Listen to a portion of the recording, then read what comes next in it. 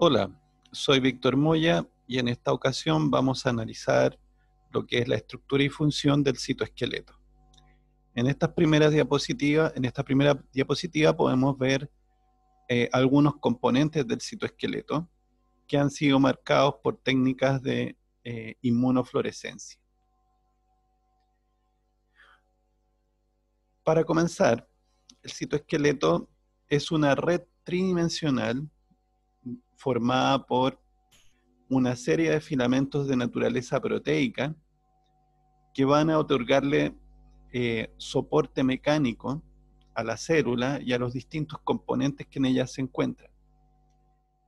Sin embargo, aparte de esta función general que tendría que ver con mantener la forma y la integridad celular, vamos a ver que algunos de ellos cumplen funciones bastante específicas o particulares. Antes de entrar en, esos detalles, tenemos que tener claro que los componentes del citoesqueleto se pueden dividir en tres clases, que serían los microfilamentos, que en esta aparecen representados aquí, y que se llaman así porque forman eh, estructuras proteicas filamentosas de un diámetro muy pequeño, que está en el rango de los 7 nanómetros. Tenemos por otro lado a los microtúbulos en el extremo opuesto, que forman estructuras eh, proteicas, que en este caso tienen formas de cilindros huecos, cuyos diámetros oscilan entre los 25 nanómetros. Y entre ambos, entre los microfilamentos de actina y los microtúbulos, vamos a encontrar unas estructuras proteicas con un diámetro intermedio que serían los filamentos intermedios. Entonces, el diámetro de estos filamentos intermedios oscila entre 8 y 12 nanómetros aproximadamente. Dentro de la célula, estos van a tener distribuciones y funciones bien particulares. Por ejemplo, en esta imagen vemos por acá eh, la posición y distribución de los eh, microfilamentos en este caso. Em, podemos ver también la estructura de los y la disposición de los microtúbulos. Y vemos también acá una gran cantidad de filamentos intermedios. ¿Ok?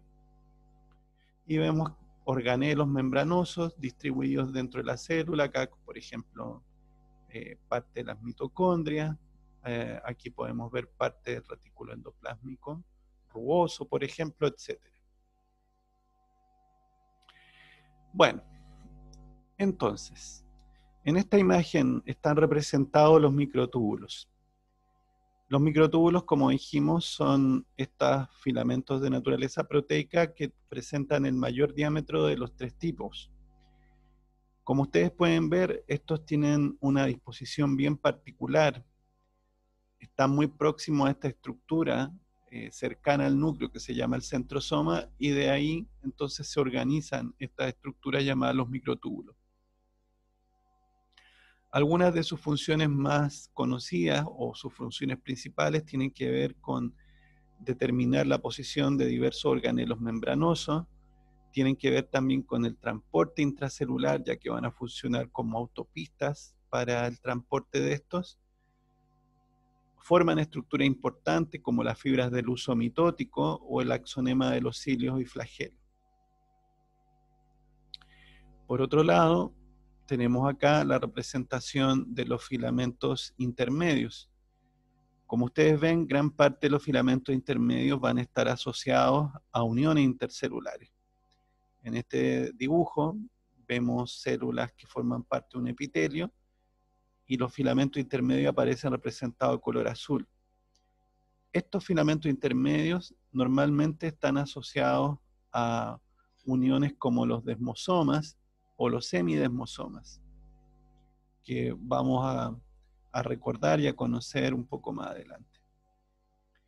Y luego tenemos los microfilamentos de actina, en donde podemos ver que esta tiende a estar dispuesta principalmente en la corteza citoplasmática, o sea, en la periferia del citoplasma. Entonces aquí como lo vemos y también puede estar dentro de estructuras características como eh, el esqueleto de las microvellosidades. Estos microfilamentos de actina, por ejemplo, dentro de sus funciones va a estar el que participan en la locomoción celular, el desplazamiento celular, pero también en contracción muscular, por ejemplo. También pueden funcionar como autopistas y por lo tanto también tienen que ver con el transporte intracelular de materiales. Y participan en la citodiéresis, que es la división del citoplasma durante el proceso de mitosis.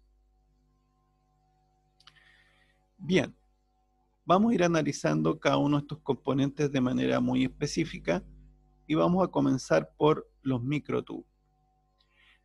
Lo que vemos acá entonces es un microtúbulo y vemos que es eh, una estructura de naturaleza cilíndrica en donde podríamos decir que la pared del microtúbulo está formada por la asociación de varios dímeros de tubulina, que forman esto que observamos acá, que serían los protofilamentos.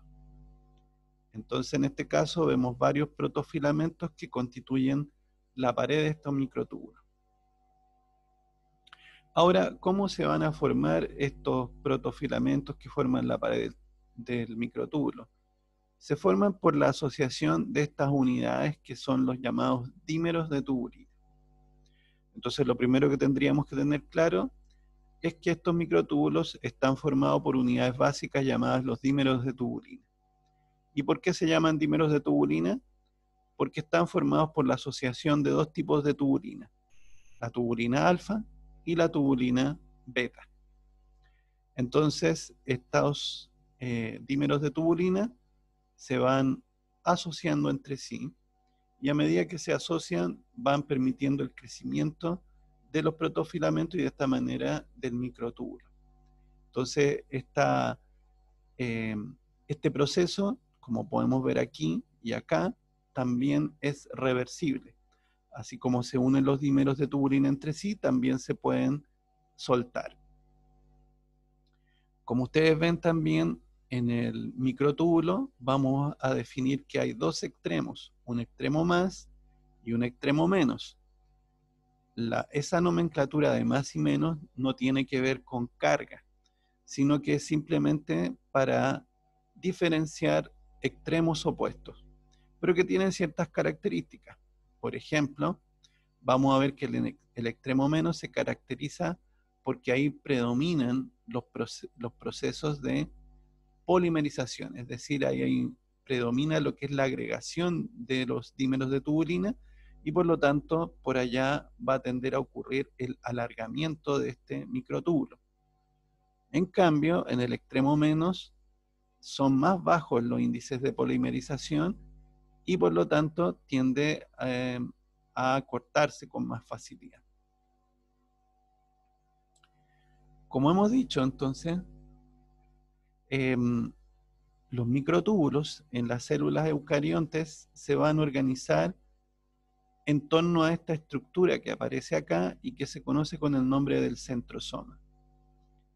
El centrosoma está formado por un conjunto de proteínas que forman eh, esta zona verde que aparece ahí y puede o no presentar en su interior estas otras estructuras que son los centriolos. Si se trata de una célula animal, dentro del centrosoma vamos a encontrar centriolos. Pero si se trata de una célula vegetal, este centrosoma carece de centriolos en su interior. ¿Ok? Bueno, ¿cuál es la importancia de este centrosoma? Como hemos dicho, este centrosoma va a funcionar como un centro organizador de microtúbulos. Es decir, los microtúbulos que ya sabemos tienen un extremo menos y más, se van a disponer en torno a este centrosoma con el extremo menos en contacto con el centrosoma y el extremo más alejándose de este. Asimismo, si miramos acá a la derecha, esta microfotografía que está en blanco y negro, pero que es una, micro, una microfotografía de fluorescencia en donde se ha marcado la tubulina. Y por lo tanto, estas fibras que vemos acá corresponden a microtúbulos y estas zonas más claras son las zonas donde se encuentran estos centros organizadores de microtúbulos que en inglés se abrevian con la sigla MTOC. ¿Ok? Vemos que estos centros organizadores de microtúbulos tienen una localización perinuclear, o sea, están muy cercanos y alrededor del núcleo. ¿Bien? Bueno, cuando estudiamos, ¿no es cierto? Cuando observamos este centrosoma, nos vamos a dar cuenta, ahí están los centriolos, y alrededor de los centriolos está este material pericentriolar. Dentro de este material pericentriolar están estos anillos de tubulina gamma. ¿Por qué son importantes estos anillos de tubulina gamma?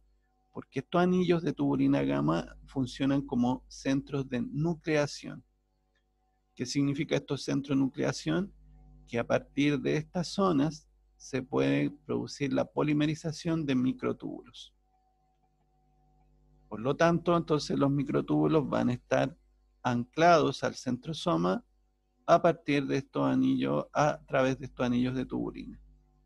Entonces, si miramos esto con más detalle acá, acá tendríamos el centro organizador de microtúbulos, ahí tendríamos el anillo de tubulina gamma, y sobre ese entonces se conecta el eh, microtúbulo propiamente tal, en donde podemos observar los dímeros de tubulina alfa y beta.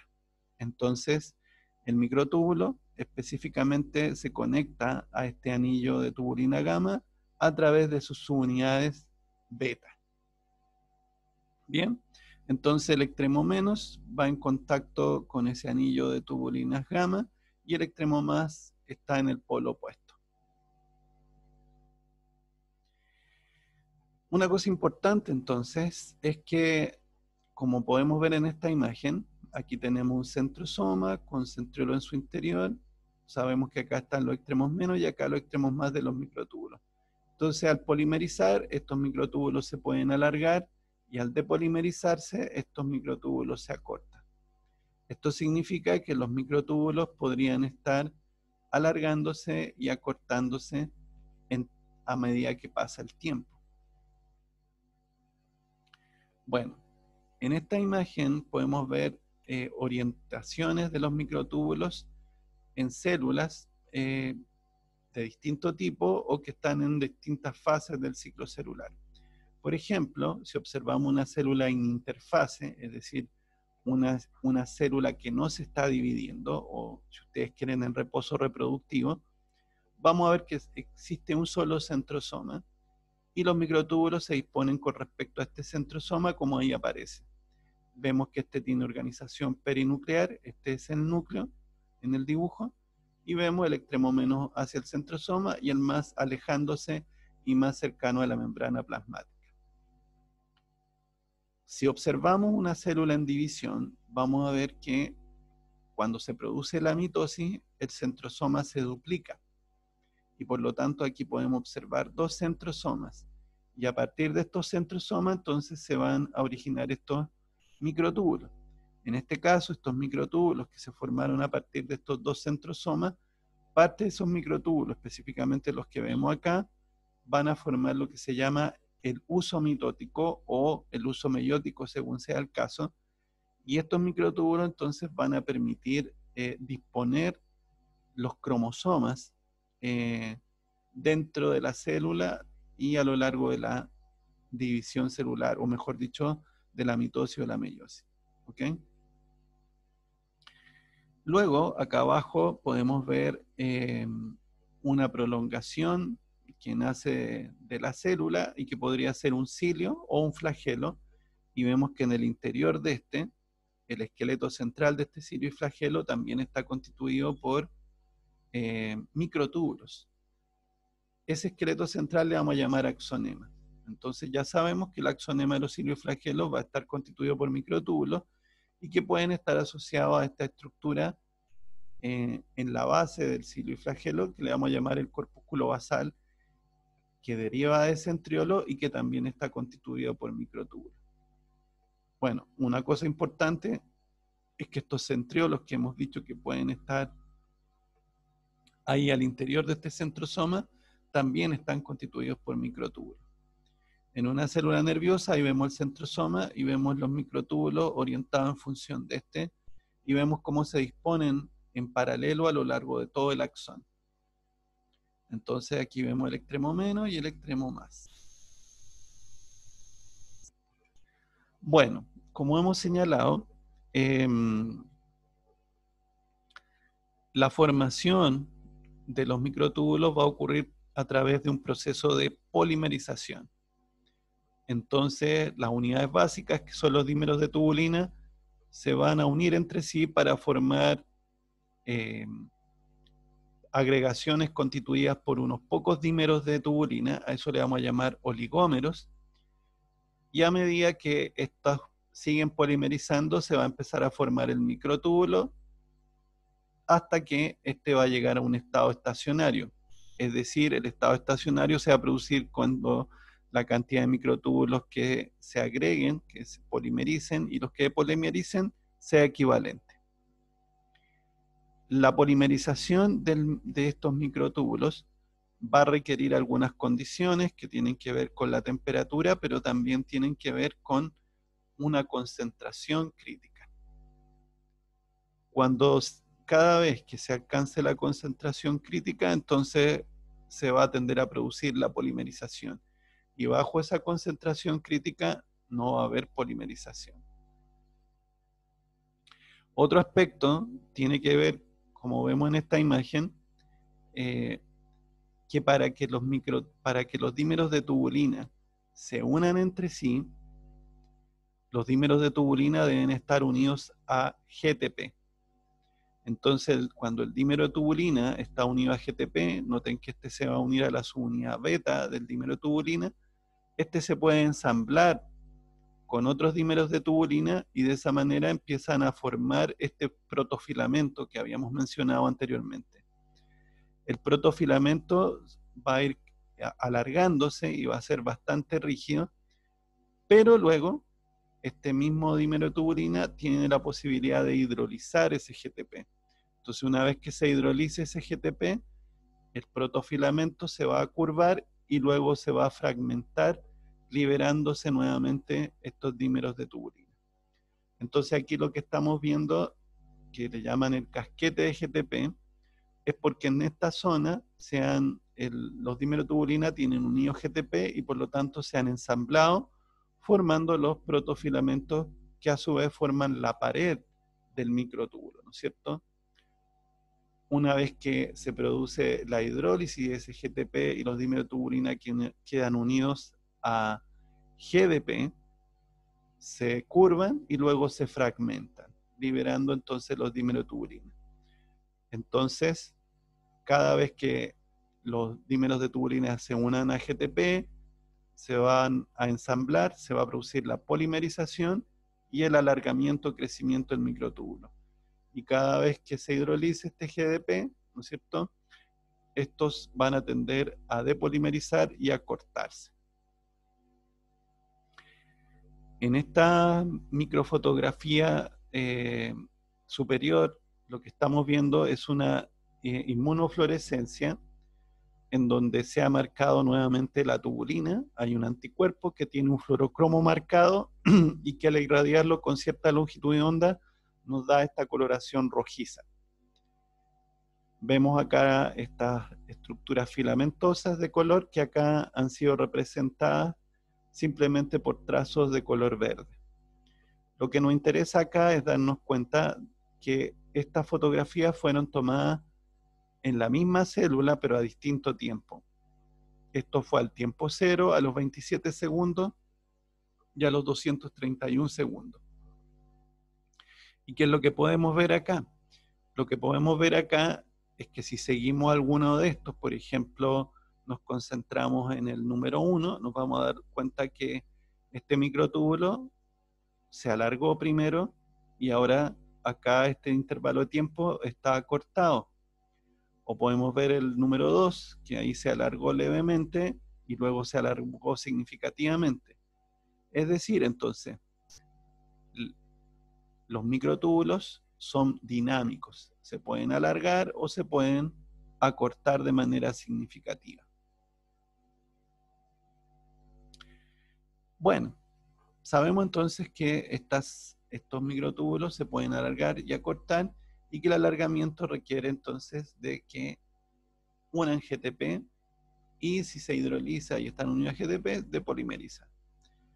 Hay varias drogas que se unen de manera específica a estos componentes de los microtúbulos. Algunas de las más conocidas son, por ejemplo, la colchicina o el taxol. Si nos, concentramos, por ejemplo, en el taxol, ¿qué es lo que hace? El taxol une y estabiliza microtúbulos. Es decir, se une a los microtúbulos e impide que estos entonces tanto polimericen como depolimericen. Es decir, si se une el taxol a un microtúbulo, este ya no se puede alargar y no se puede acortar. La colchicina, por su parte, igual que la colsemida, se unen a las unidades que constituyen a estos microtúbulos, es decir, se unen a los dímeros de tubulina, impidiendo su polimerización. Por lo tanto, estos ya no se pueden alargar. La vinblastina y la vincristina también hacen lo mismo, al igual que el nacodazol. Estos tres tipos de drogas, colchicina, colsemida, la vinblastina, vincristina y el nacodazol, entonces se unen a, las, a los dimerotubulina impidiendo su polimerización. Como ustedes podrán imaginar, estas drogas van a afectar la disposición de los organelos dentro de la célula porque van a afectar eh, a los microtúbulos. Sin embargo, hay, algo mucho más marcado. Nosotros dijimos que los microtúbulos participaban, por ejemplo, en la formación del uso mitótico. Y por lo tanto, eh, y este uso mitótico tenía que ver con la posición de los cromosomas durante la mitosis o la meiosis. Entonces lo que va a hacer estas drogas, entre otras cosas, van a afectar negativamente a las células que están en división celular. Van a bloquear los procesos de, mitosis. Y por esa misma razón, estas drogas se utilizan, por ejemplo, en el tratamiento del cáncer, donde una de las características de este es una, es una excesiva proliferación celular, es decir, una excesiva división celular o si ustedes quieren, una división celular descontrolada. Entonces estas drogas, al afectar la formación de los microtúbulos y por consecuente la mitosis, detienen la división celular y de esa manera evitan que estas células sigan aumentando en número y haciendo crecer estos tumores.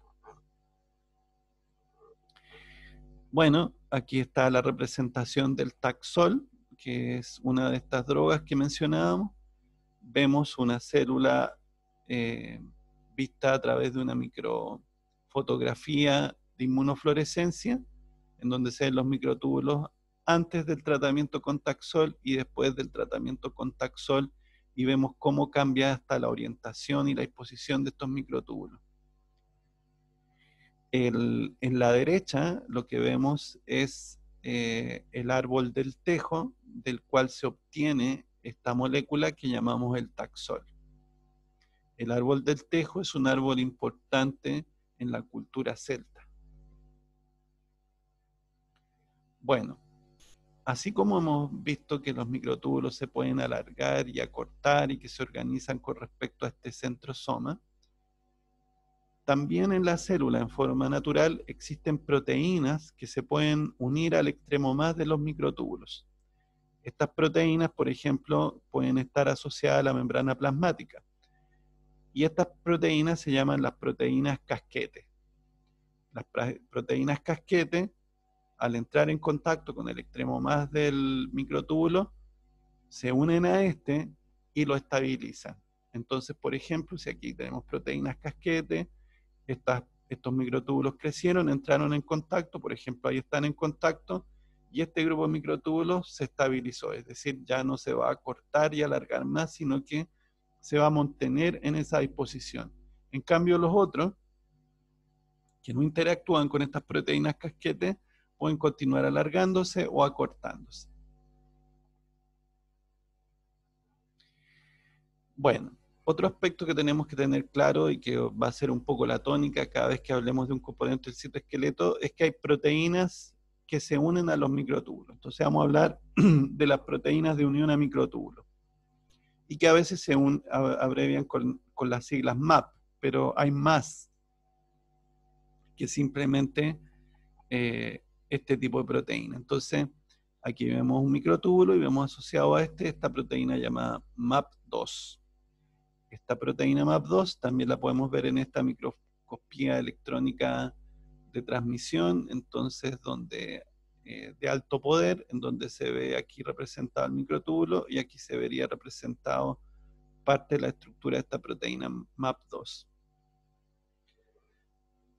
Aquí tenemos entonces dos proteínas que se asocian a microtúbulos, la MAP2 que ya la conocimos, que está acá y representada acá, y tenemos una muy parecida que es la proteína tau. ¿Qué particularidad tienen estas proteínas em, de tipo MAP2 y tau? Lo que tienen en común es que pueden conectar entre sí a microtúbulos y los y van a formar haces o paquetes de microtúbulos dispuestos en paralelo. Entonces, tanto MAP como tau permiten formar haces de microtúbulos dispuestos en paralelo. Entonces, para que no hagamos eh, una idea de esta situación, eh, nosotros podemos em, generar entonces estos cortes transversales, estos son cortes de axones, y en estos cortes de axones lo que podemos ver es que los axones, perdón, dentro del axón, estos puntitos representan los microtúbulos cortados transversalmente y vemos aquí la distancia que existe entre estos microtúbulos. Como son haces o paquetes dispuestos en paralelo, de manera muy ordenada, esta va a ser la separación, por ejemplo, que se genera cuando los microtúbulos están conectados por proteínas de tipo MAP2. Sin embargo, en el axón de la izquierda lo que se ha hecho es sobreexpresar la proteína tau.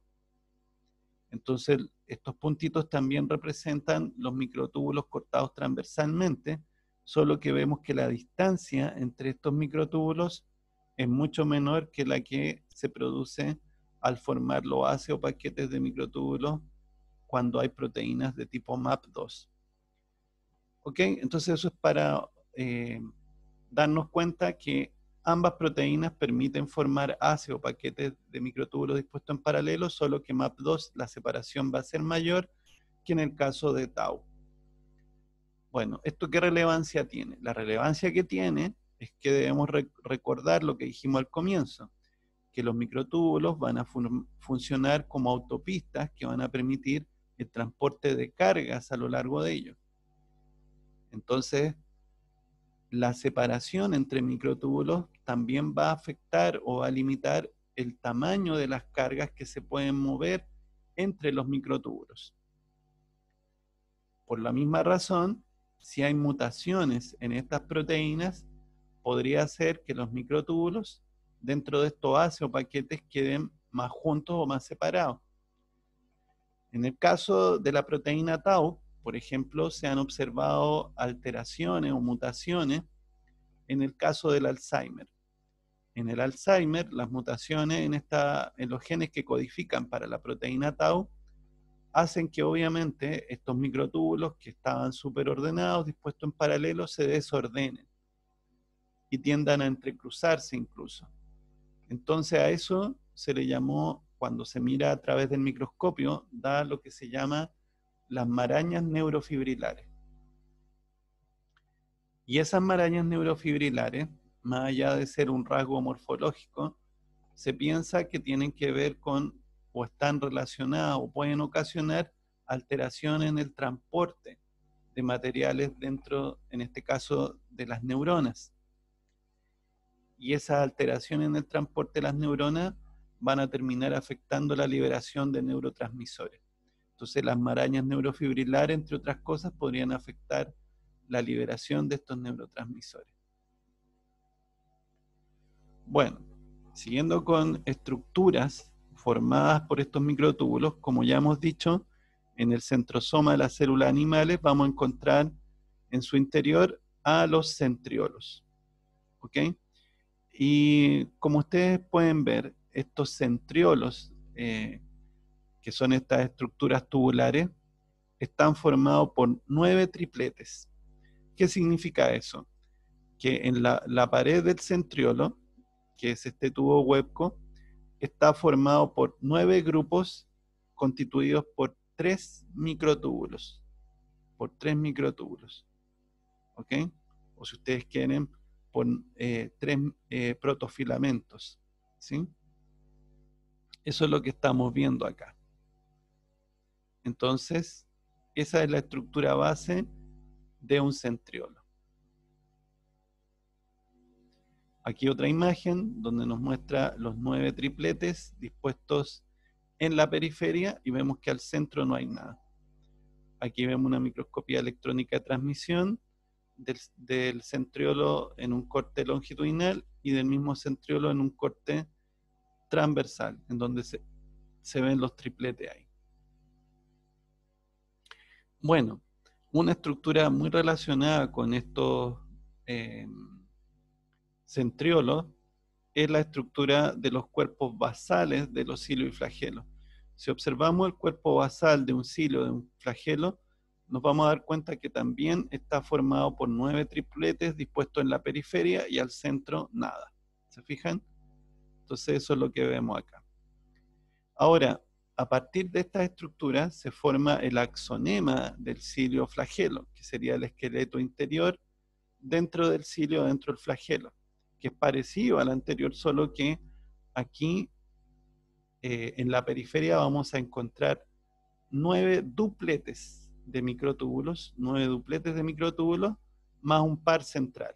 Entonces aquí vemos los nueve dupletes y ahí al centro se observa este par, par central. ¿Ok? Y este esqueleto central entonces va a ser común o lo vamos a poder encontrar cada vez que hagamos un corte y queramos observar la estructura interna de un cilio o de un flagelo. Entonces, como hemos señalado, el axonema del cilio flagelo son nueve dupletes con un par central.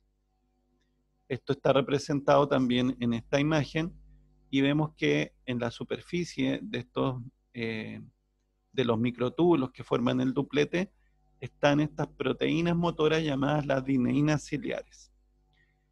Las dineínas son proteínas de unión a microtúbulos, pero que tienen función motora, es decir, se pueden unir al microtúbulo por un lado y por este otro lado se pueden unir a, los dímeros eh, eh, o a las dupletas de microtúbulos, mejor dicho, adyacentes. Entonces aquí tenemos una dupleta, aquí tenemos el brazo de dineína y este brazo de dineína se conecta con esta dupleta.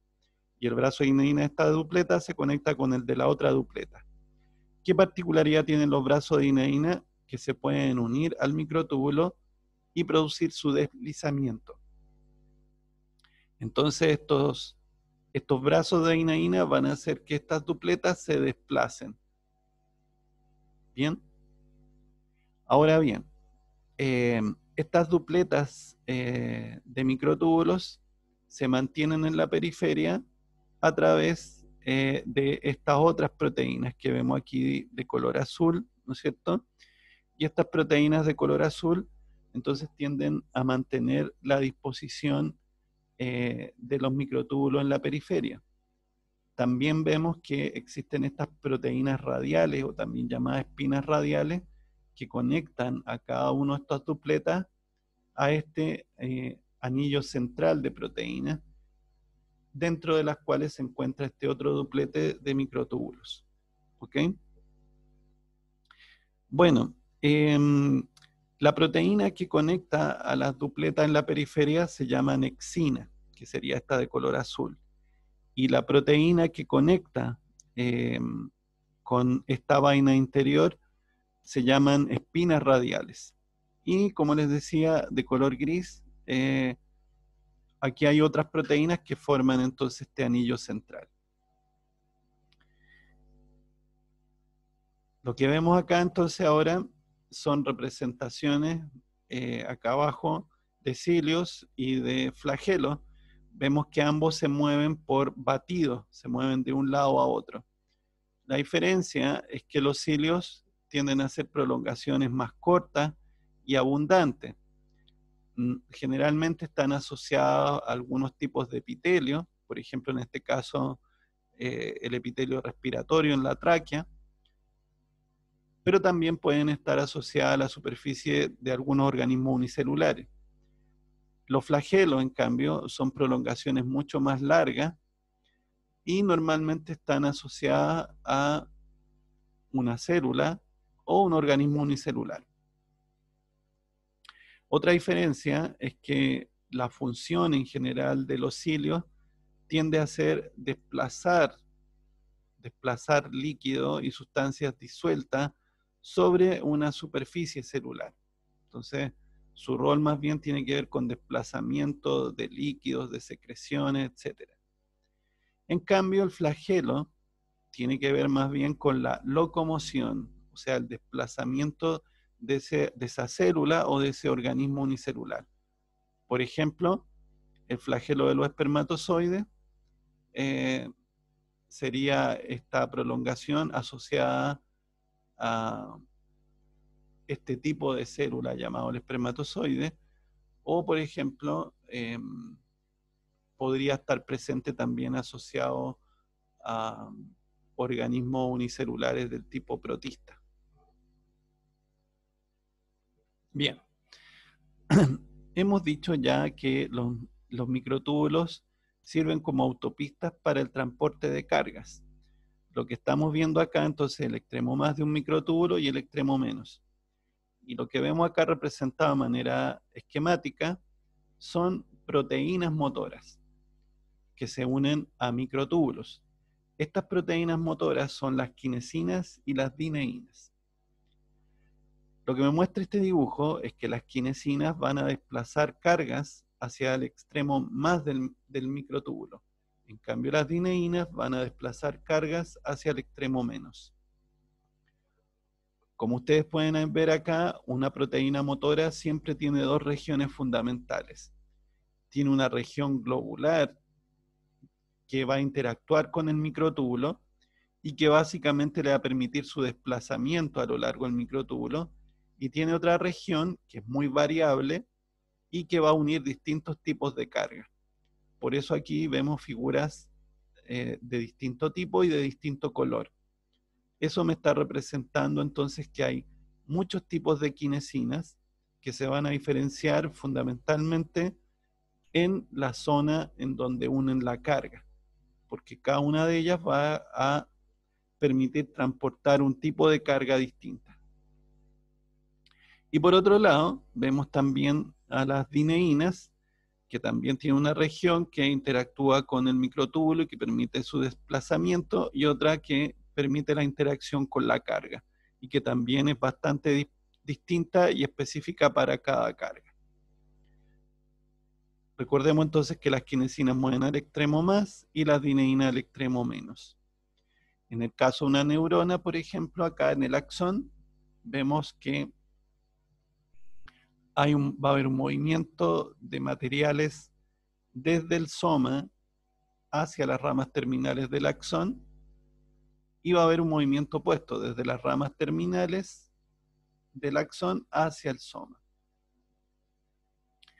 Estos movimientos claramente van a depender, en el caso desde el soma hacia el axón, va a depender de lo que llamamos las quinesinas, porque en ese caso se mueven hacia el extremo más.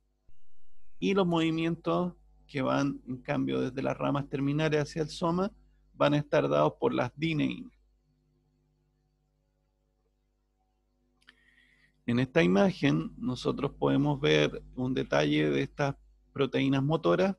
Vemos que en general es común que estas proteínas están formadas por dos cadenas pesadas. En el extremo de estas cadenas pesadas vemos estas proteínas, estas conformaciones globulares que son las que le permiten interactuar con el microtúbulo em, y que le van a permitir desplazarse sobre él. Y por otro lado vemos acá la zona de las cadenas ligeras que es también la zona donde se van a unir las cargas. Vemos que estas serían las quinesinas y estas serían las dineínas. En estas dos imágenes laterales vemos el hipotético desplazamiento de una proteína motora transportando una carga. En este caso vemos una quinesina, vemos que va prácticamente caminando sobre el microtúbulo y por acá está unida una carga que en este caso es una vesícula membranosa. Para que estas proteínas eh, se desplacen de esta manera, ¿no es cierto?, realicen este, eh, esta función de de caminar sobre el microtúbulo, se requieren cambios conformacionales. Y estos cambios conformacionales requieren de hidrólisis de ATP. Por lo tanto, podríamos decir que el combustible de estas proteínas motoras es el ATP. Requieren de hidrólisis de ATP para desplazar las cargas sobre estas autopistas que son los microtúbulos y que ya sabemos son autopistas que en algunos casos pueden ser fijas, estar estabilizadas y en otros casos acortarse, alargarse, etc. Bueno, lo que tenemos ahora acá son, eh, los, vamos a hablar de los microfilamentos. Y dentro de los microfilamentos, entonces vamos a hablar de lo que son los microfilamentos de actina. Entonces aquí la unidad básica del microfilamento es un monómero, un monómero de actina. Y de manera parecida a lo que vimos en el microtúbulo, también pueden unir un nucleótido, solo que en este caso el nucleótido es ATP o ADP. El microfilamento de actina se va a formar por la polimerización de estos monómeros de actina que ya estamos viendo acá, que esa polimerización va a ocurrir solamente cuando los monómeros están unidos a ATP.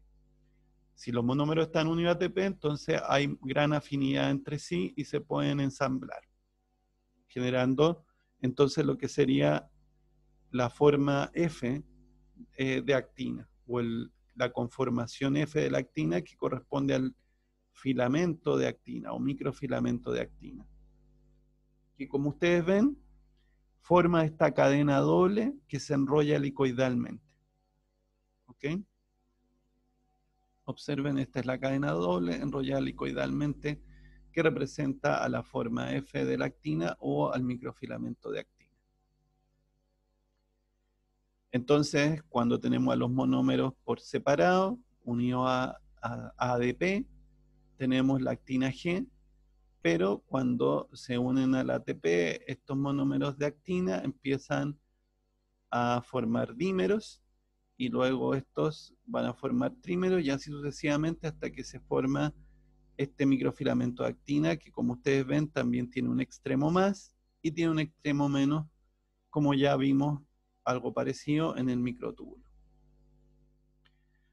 Ahora bien, lo que nosotros podemos ver acá es lo que ya les contaba, que si el monómero de actina se une a ATP, este se ensambla a otros monómeros y se produce la polimerización, pero si ese ATP es hidrolizado y se convierte en ADP, entonces se va a producir la depolimerización, o sea, se va a soltar este, mm, este monómero de actina y solamente cuando este sea reemplazado, salga el monómero de actina y entre, eh, perdón, salga el, el ADP y entre un nuevo ATP, si eso ocurre, entonces se va a tender a producir la polimerización. Bueno, eh, la polimerización y depolimerización puede ser afectada de diversas maneras. Y una de las formas en que puede afectarse, por ejemplo, una forma en que se puede evitar la polimerización es la siguiente. Supongamos, si nosotros sabemos que si el monómero de actina une a ATP, lo normal es que éste se pueda unir a otro monómero de actina y comience entonces la polimerización y el consecuente alargamiento del microfilamento. Sin embargo, nosotros vemos que aquí está el lugar de unión o el sitio de unión para el otro eh, monómero de actina.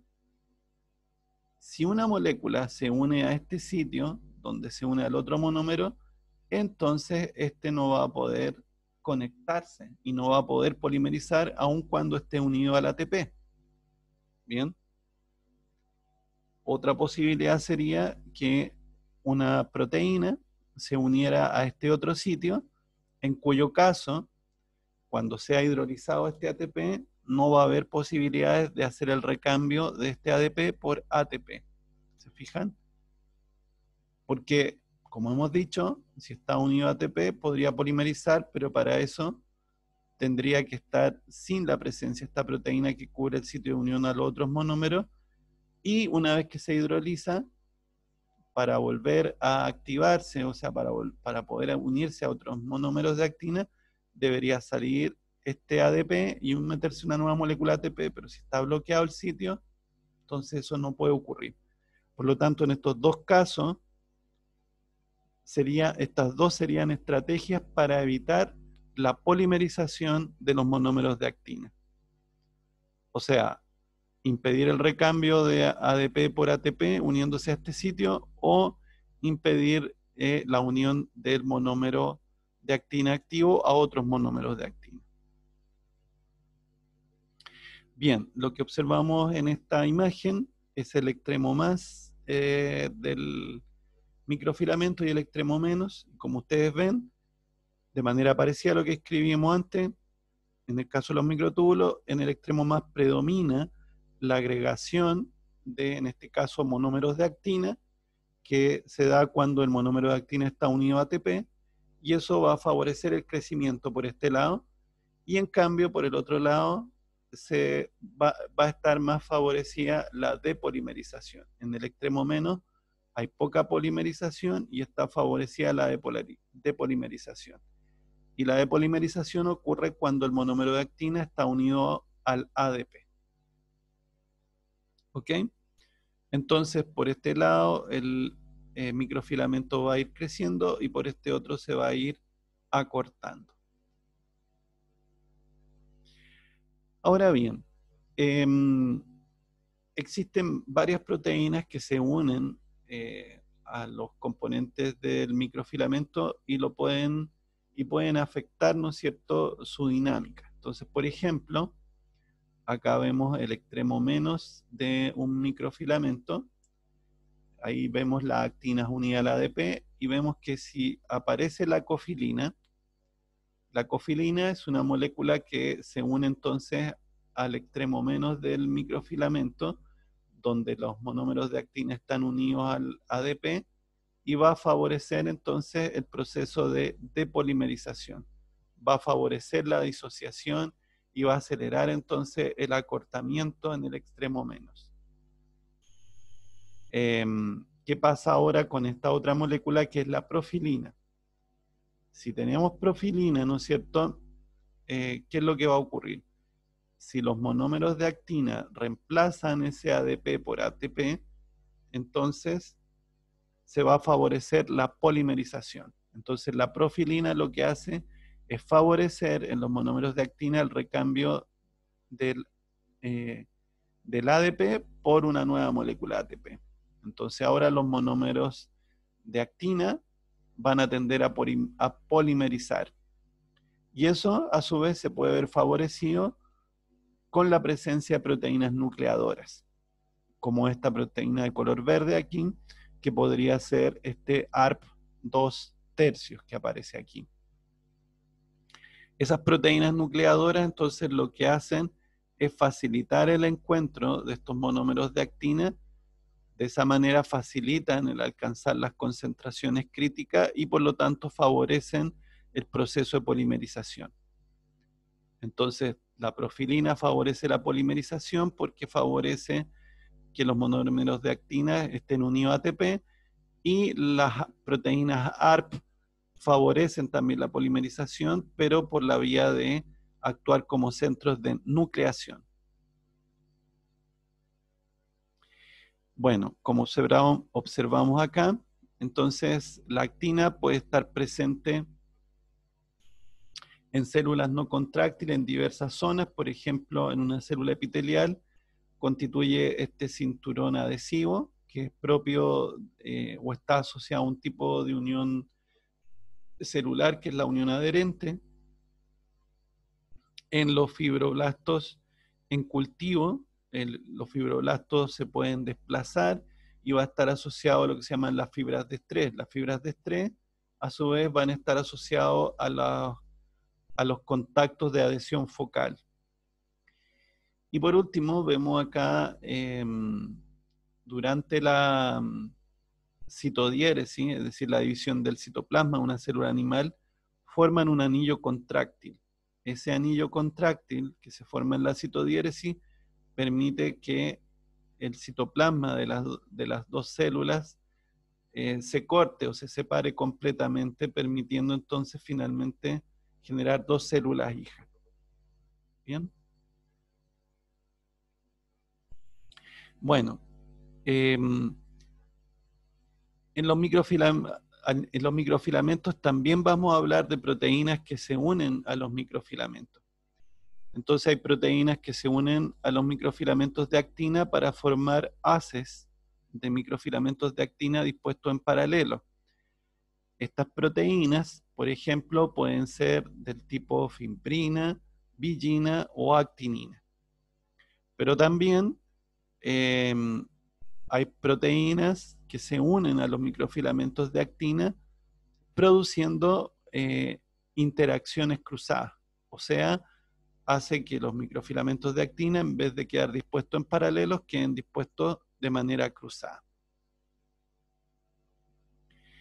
Bueno, como hemos dicho, eh, pueden generarse eh, haces o paquetes de microfilamentos de actina dispuestos en paralelo con la participación de proteínas de unión, como por ejemplo la alfa-actinina o la fimbrina cuál es la diferencia entre los dos tipos de haces eh, de microfilamentos de actina.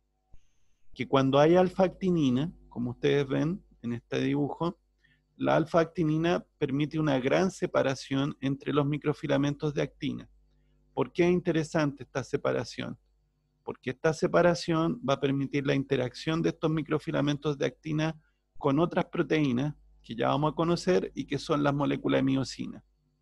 Por lo tanto, estos filamentos de actina dispuestos en paralelo son típicos de los haces eh, de microfilamentos de actina contráctiles. Esto va a permitir entonces la interacción de estos microfilamentos de actina con las miocinas de tipo 2. En cambio, a la derecha, vemos que el, los haces eh, o paquetes de microfilamentos de actina dispuestos en paralelo se logran con la fimbrina.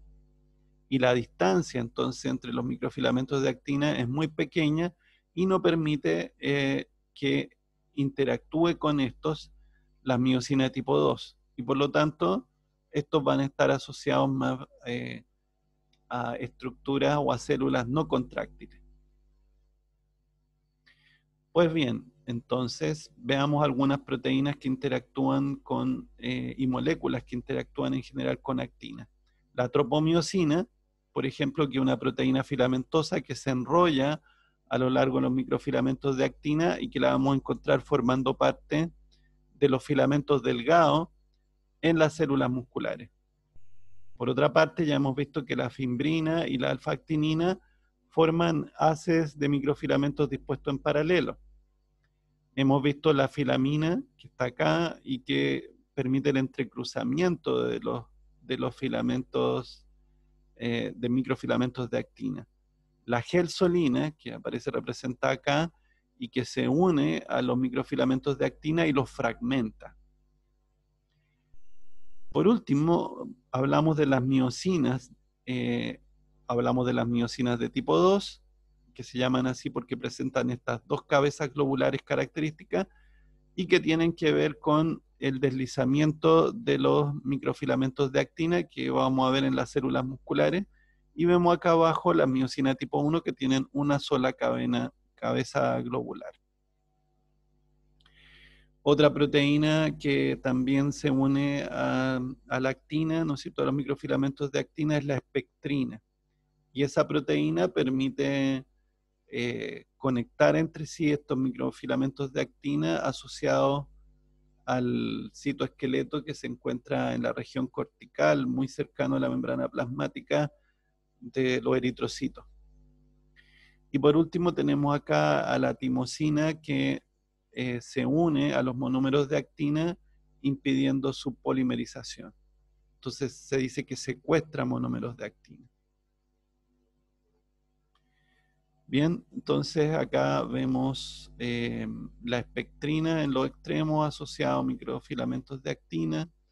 Acá vemos la fimbrina o la alfa-actinina que forman estos haces eh, dispuestos en paralelo o la filamina que genera estos entrecruzamientos que ya mencionado.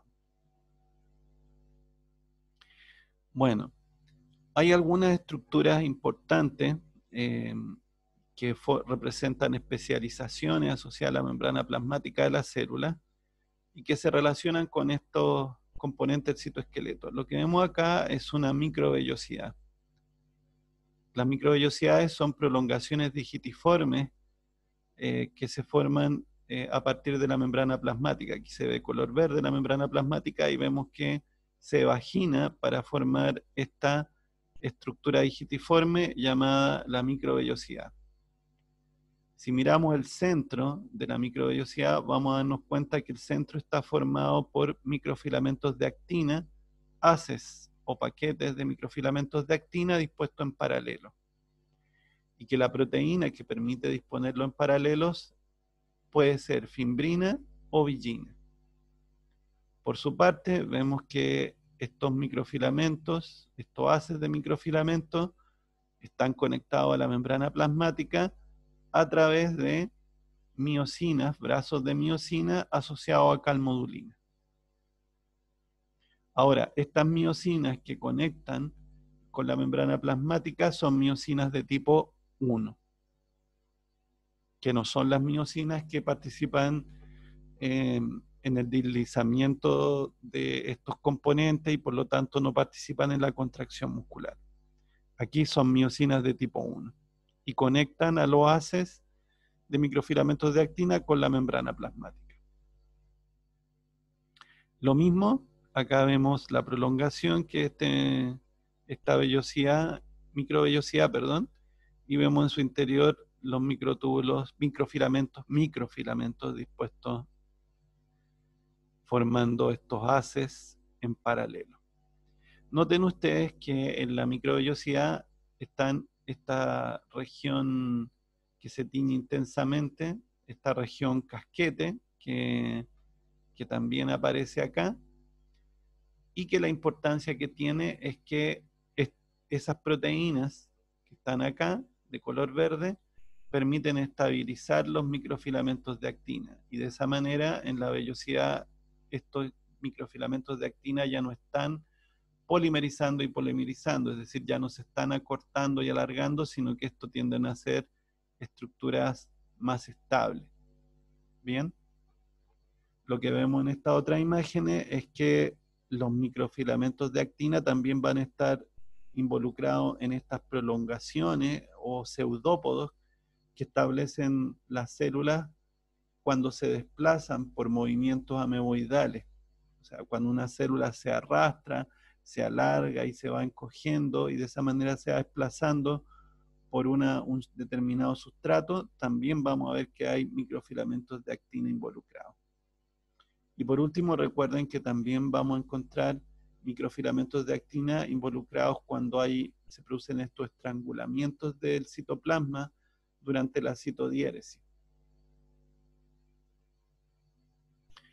Bueno, como hemos dicho, los microfilamentos de actina pueden formar estos haces dispuestos en paralelo. cierto? En este caso, estos haces eh, de microfilamentos de actina dispuestos en paralelo están conectados entre sí a través de esta alfa-actinina. O sea, esto perfectamente podría ser parte de una célula contráctil u otra. Y lo que vemos acá es eh, una molécula de adhesión celular que es la integrina y que permite conectar la membrana plasmática de esta célula con la matriz extracelular. Entonces, em, esta, mm, en, la, en la matriz extracelular vamos a encontrar diversos tipos de proteínas que están presentes en ella y que permiten la interacción con esta integrina. Em, Una de estas proteínas podría ser la fibronectina. Entonces, en esta imagen podemos ver entonces a la integrina de manera más simplificada conectada con esta proteína de la matriz extracelular que es la fibronectina. Aquí está la membrana plasmática y aquí está el microfilamento de actina, que está formando parte de este haz dispuesto en paralelo. Noten ustedes que la conexión entre la molécula de adhesión, que es la integrina, y el microfilamento de actina estabilizado por esa proteína en capucha, se logra a través de una proteína de anclaje, un grupo de proteínas de anclaje, que son la talina y la vinculina, así como también la paxilina. Entonces, en esta estructura, la vinculina y la talina son proteínas de anclaje que conectan a la molécula de adhesión celular, que es la integrina, con los microfilamentos de actina. Este tipo de interacción que acabo de señalar lo vamos a encontrar de manera específica en lo que se llaman las uniones focales o adhesiones focales. ¿Ok? Las adhesiones focales, entonces, son un tipo de unión intercelular que permite conectar la célula con su matriz extracelular. Entonces, en esta adhesión focal vemos que la interacción con el citoesqueleto es justamente con microfilamentos de actina y que esa interacción con los microfilamentos de actina requiere de proteínas de anclaje que son la vinculina y la talina. ¿Y con quién entonces interactúa la vinculina y la talina? Con la molécula de adhesión, que es la integrina, y con la proteína del citoesqueleto correspondiente al microfilamento de actina. Bueno, lo que observamos acá también es que, como ya lo habíamos señalado, podíamos ver que los microfilamentos de actina que estaban dispuestos en la corteza o periferia del citoplasma podían disponerse formando esta especie de cinturones en las células epiteliales. Y esa organización en forma de cinturón lo vamos a encontrar cuando estos microfilamentos de actina están formando parte de esta otra unión intercelular que se llaman las uniones adherentes. Entonces, la unión adherente, nuevamente vemos que hay una molécula de adhesión celular que es en este caso la caderina. Y esa caderina interactúa con los microfilamentos de actina a través de dos proteínas de anclaje, o mejor dicho, dos clases de proteínas de anclaje que son las cateninas de tipo alfa y de tipo beta. Entonces, este tipo de uniones, llamadas uniones adherentes, permite mantener a las dos células estrechamente unidas entre sí, como a través de una molécula de adhesión, que son las caderinas, las proteínas de anclaje, que son las cateninas alfa y beta, y que a su vez interactúan con los microfilamentos de actina que forman esta especie de cinturón. Bueno, como acabamos de señalar, dentro de las proteínas que pueden interactuar con la actina está la miocina. Y las miocinas, como ya hemos dicho, pueden ser de tipo 1 si tienen una sola cabeza globular o de tipo 2 si tienen dos cabezas globulares. Nosotros nos vamos a centrar ahora principalmente en las miocinas de tipo 2, que como ustedes pueden ver, están formados por dos cadenas pesadas, que aquí aparecen de color verde claro y verde oscuro, en donde estas presentan una zona con dos cabezas globulares y el resto se enrolla helicoidalmente. ¿no es cierto? Tenemos esta alfa hélice que se enrolla helicoidalmente. Y además, cada una de estas cabezas está asociada a dos cadenas ligeras. ¿Se fijan? Entonces esto que vemos acá está representado aquí también y podemos ver entonces que la importancia de las cadenas pesadas y concretamente la porción globular es que ahí encontramos, por un lado, el sitio de unión con la actina y encontramos sitios de unión ATP. ¿Por qué es tan importante esto? Porque esta proteína, que es la miocina tipo 2, entonces no solo tiene esta particularidad que se puede unir a la actina, sino que además une e hidroliza ATP.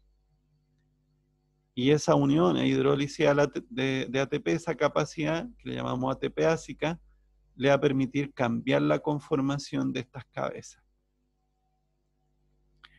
Ahora bien, varias moléculas de miocina tipo 2 se pueden ensamblar para formar esta estructura de mayor grosor que se llama justamente el filamento grueso. El filamento grueso. Y que vamos a encontrar en las células musculares.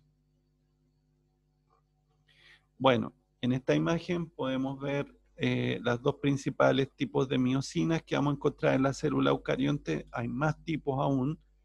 Noten aquí las miocinas tipo 2, que son las que forman el filamento grueso, que tienen estas dos cabezas que interactúan con microfilamentos de actina para producir su deslizamiento. Entonces, las miocinas de tipo 2 están involucradas principalmente en el deslizamiento de estos microfilamentos de actina, cosa que va a ser fundamental para entender la contracción muscular. Y en cambio, las miocinas de tipo 2 normalmente funcionan como proteínas motoras, permitiendo el desplazamiento de ciertas cargas, en este caso una vesícula. Noten además que esta miocina tipo 1 se desplaza siempre hacia el extremo más, mueve las cargas hacia el extremo más.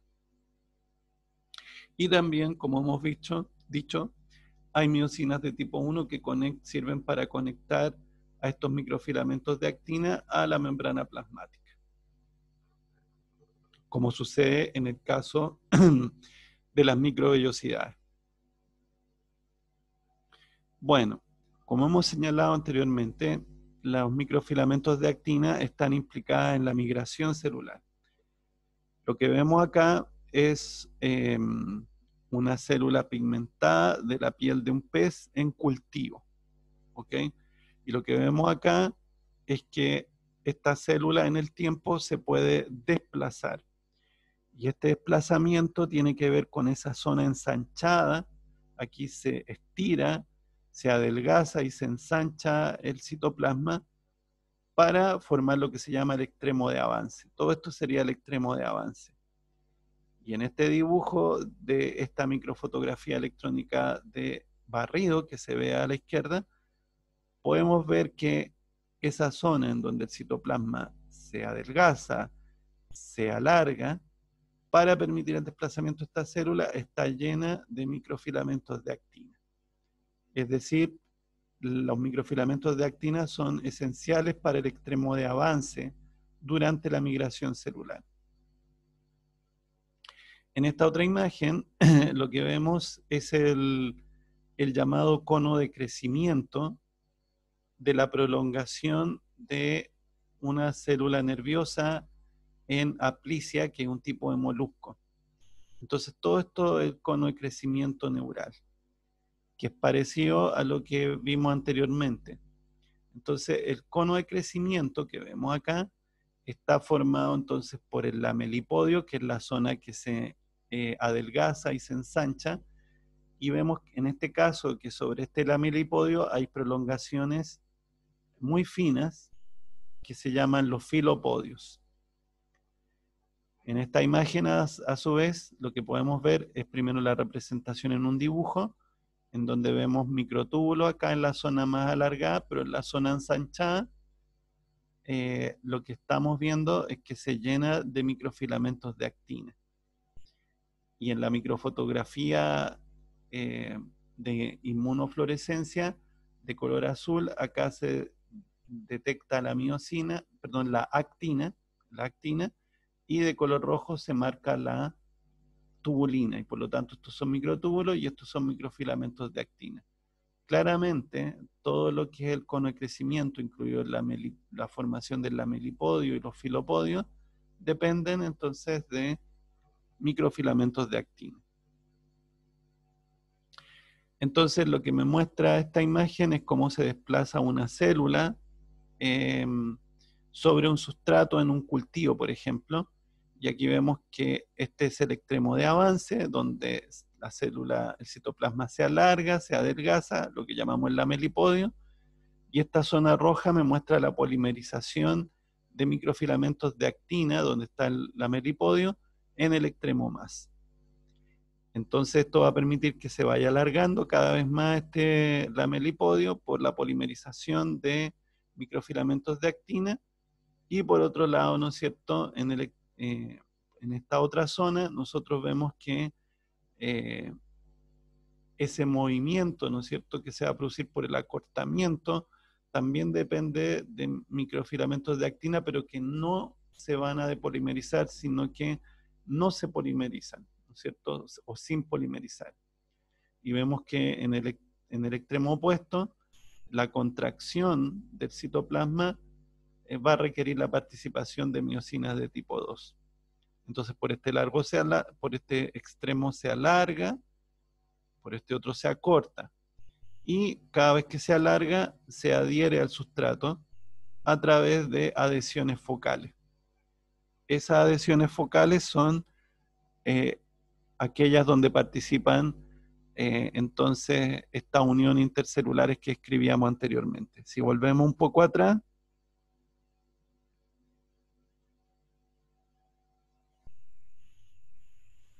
estamos hablando de esto. Estas son los, esta es la estructura de una adhesión focal.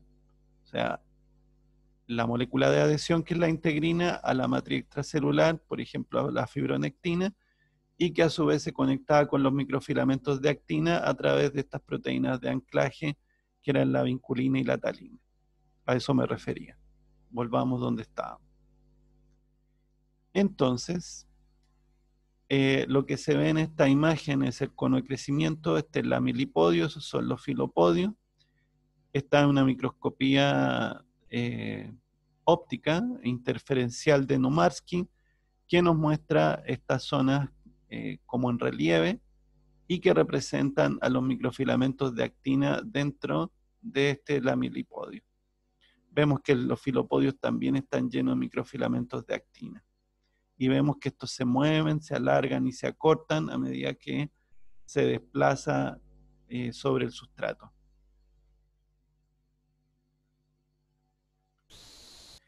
Bien, como hemos visto, entonces la melipodio está lleno de microfilamentos de actina que van a ir polimerizando, permitiendo el alargue y luego la depolimerización que va a permitir el acortamiento.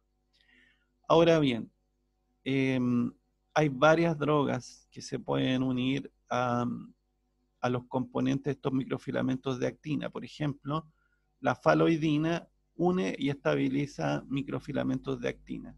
Eso significa que estos ya no se pueden ni alargar ni acortar.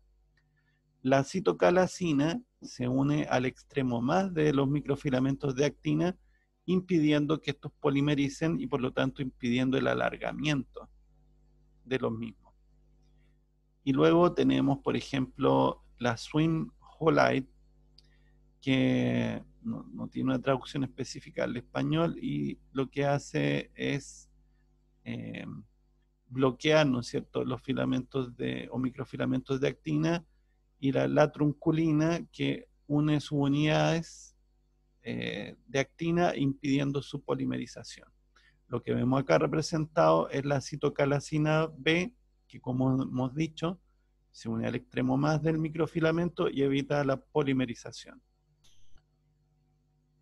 Entonces, aquí vemos eh, el borde de avance, ¿no es cierto? Esta plicia que ya dijimos era este molusco y concretamente de una, de una célula nerviosa, el cono de crecimiento de este molusco, Aquí estamos viendo que dentro del extremo de avance está lleno de microfilamentos de actina, pero si esta, esta célula en cultivo es tratada con citocalacina, vamos a ver que el interior ahora de el lamelipodio no observamos esta estructura filamentosa y si lo tratamos con anticuerpos contra eh, actina, nos vamos a dar cuenta que toda esa zona queda libre de eh, microfilamentos de actina. O sea, como ya sabemos, se une al extremo más y impide la polimerización de los microfilamentos de actina.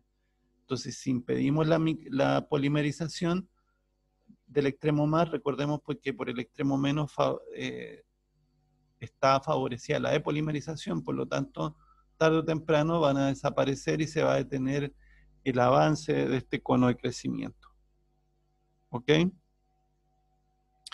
Luego, lo que observamos acá es em, que en algunas células vegetales de tipo acuático, por ejemplo, en el género Nitela y en el género Elodea, que son dos algas, o sea, perdón, dos plantas acuáticas muy conocidas, los microfilamentos de actina que están localizados en la corteza del citoplasma van a permitir el desplazamiento de vesículas membranosas y de organelos membranosos. Entre ellos, por ejemplo, las mitocondrias, perdón, los cloroplastos, perdón, quise decir. Entre ellos los cloroplastos.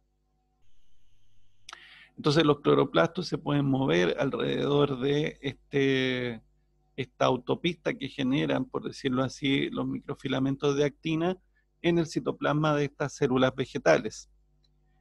Eh, eso se puede observar muy bien en, como les decía, en estas plantas acuáticas, especialmente en la elodea, en donde es fácil observar el desplazamiento de los cloroplastos, ya que estos tienen clorofila y los podemos observar sin necesidad de teñirla. Entonces, hay un flujo de estructuras membranosas en la periferia de la célula y alrededor de la vacuola central característica de algunas de estas células vegetales. Bien, por último, la tercera clase de componentes del citoesqueleto serían los filamentos intermedios, que se llamaban así, recordemos, porque el diámetro de estos está entre los microfilamentos, que serían los más delgados, y los microtúbulos, que serían los más gruesos.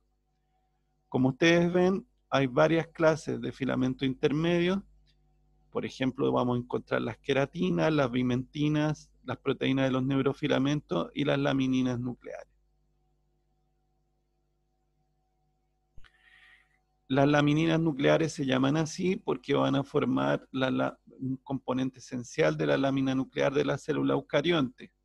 Va a estar asociado principalmente a la membrana nuclear interna vamos a encontrar lo que se llaman las proteínas relacionadas con la bimentina, en donde está la propia bimentina, que es de origen mesenquimático, pero luego encontramos otras como la desmina, que es propiedad del músculo, las proteínas gliales acídicas, que las vamos a encontrar en los astrocitos y células de Schwann, que son eh, células gliales, o, por ejemplo, las periferinas, que se pueden encontrar en neuronas, y luego tenemos otra clase que son las queratinas de tipo 1, de tipo 2, que están principalmente ubicadas en células de origen epitelial y sus derivados, o sea, todo lo que es el tegumento, la podemos encontrar en el pelo, en las uñas, en las escamas.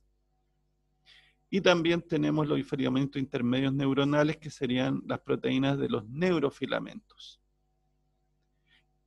Ya, ¿por qué me detengo acá un momento? Porque eso significa, nosotros ya sabemos que hemos dicho que las proteínas que constituyen los filamentos intermedios tienen importancia de resistencia mecánica eh, y que también están asociadas a cierto tipo de uniones intercelulares. Pero esto que vemos acá significa que estas proteínas son propias de ciertos tipos celulares. Los filamentos intermedios de distinto tipo van a ser característicos de ciertos tipos celulares y por lo tanto se pueden usar como marcadores. Se pueden utilizar técnicas inmunofluorescentes o, o inmunocitoquímicas para dentro de un tejido identificar distintos tipos celulares. Entonces, dentro de los tipos de filamento intermedio, vamos a encontrar algunos que se localizan principalmente a nivel del citoplasma, por ejemplo, las queratinas, que dijimos eran características de los epitelios, las bimentinas y las proteínas relacionadas con bimentina, que las vamos a encontrar, por ejemplo, en tejidos conectivos, en células musculares, em, etcétera. Vamos a encontrar los neurofilamentos propios de las células nerviosas, concretamente las neuronas, y también podemos encontrar filamentos intermedios a nivel nuclear, formando las lamininas nucleares. que las vamos a encontrar en, todo, en todos los núcleos de células animales. Bueno, a diferencia de, de los otros componentes del citoesqueleto, vemos aquí que la unidad básica del filamento intermedio es una proteína filamentosa, como ustedes ven. Aquí vemos el extremo amino y el extremo carboxilo. Aquí, extremo amino y extremo carboxilo. Entonces, ¿qué es lo que va a pasar acá? Estas proteínas filamentosas se van a empezar a ensamblar entre sí. Pero no solo se ensamblan, como lo habíamos visto en, el caso, en los casos anteriores, sino que se conectan entre sí y se producen estos sobreenrollamientos. Entonces vemos estos dímeros sobreenrollados, que luego interactúan con otros dímeros y forman estos tetrámeros de dímeros sobreenrollados. Y así sucesivamente se van ensamblando hasta que formamos esta estructura base del filamento intermedio. De esa manera, entonces, por ensamblaje de estas proteínas que ahora son de naturaleza fibrilar y que se enrollan helicoidalmente, se van a formar estas estructuras que llamamos los filamentos intermedios. Como hemos señalado al comienzo de esta clase, tiene una gran resistencia a la atracción y su función principal es permitir que las células que soportan estrés mecánico eh, no se rompan. Entonces, por ejemplo, aquí vemos células de un epitelio sometidas a estiramiento. Esas fuerzas de tracción no son, no, no, esas fuerzas de tracción que experimenta este epitelio no generan ningún daño en las células que lo constituyen y permanecen intactas. Sin embargo, si tuviéramos alteraciones en estos eh, filamentos intermedios o no se expresaran en la célula epitelial, lo que va a ocurrir es que al someterlos a tensión, eh, estas células se van a romper e incluso se van a separar entre sí. Entonces, eso es un reflejo de la importancia de los filamentos intermedios para que las células puedan resistir a la atracción sin romperse, sin desorganizarse. Como hemos dicho también, los filamentos intermedios eh, están asociados a varios tipos de uniones intercelulares. En este caso, a la izquierda vemos un desmosoma y a la derecha vemos un hemidesmosoma. Los desmosomas permiten que dos células adyacentes se conecten de manera muy firme entre sí. Entonces, estas uniones, que son los desmosomas, son muy resistentes a las fuerzas de tracción. En el caso de la derecha, lo que vemos es un hemidesmosoma, el cual permite conectar la membrana plasmática de una célula a la matriz extracelular. Un poco la diferencia con las adhesiones focales es que estas son más estables. Ahora, también permiten unir firmemente la célula a la matriz extracelular. Si observamos la organización de esta unión intercelular que llamamos el desmosoma, vamos a ver que la molécula de adhesión celular es la caderina vemos que en el citoesqueleto el componente obviamente es, una, eh, es un filamento intermedio. Y vemos que la proteína de anclaje, en este caso, es la desmoplaquina.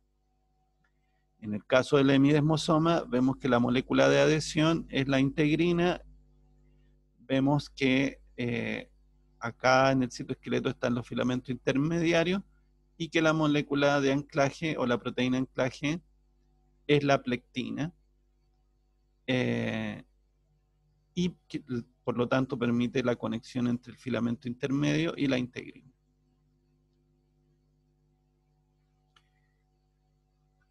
Bien. Eso entonces por ahora y luego vamos a explicar entonces eh, el fenómeno de contracción muscular asociado a lo que son las proteínas del citoesqueleto. Muchas gracias.